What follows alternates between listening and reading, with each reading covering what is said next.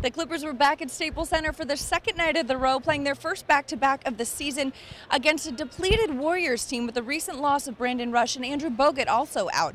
But the Warriors came out aggressive, striking first, and the Clippers just couldn't recover, coming away with the 114-110 loss to Golden State. Today, but we talked about coming out, jumping on them early, and they jumped on us early.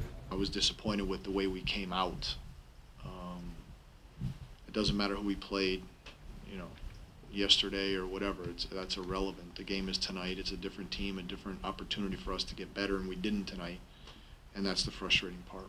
We got to be ready right out of the gate, no matter if it's a back-to-back, no matter if we come off an emotional win. Um, you know, it has to be, you know, at a high level every single night because we have that, that target on our back now. You know, we understand we got a target on our backs. You know, those guys came out, uh, could have closed their eyes and made every shot they threw up there early.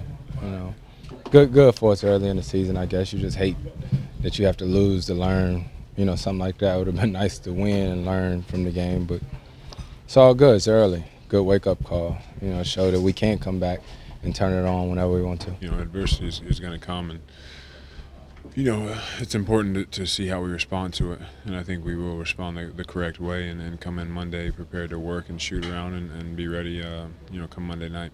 This team will have a chance to bounce back right back here at Staples Monday night when they host the Cleveland Cavaliers. Till then, I'm Madeline Burke for LAC TV.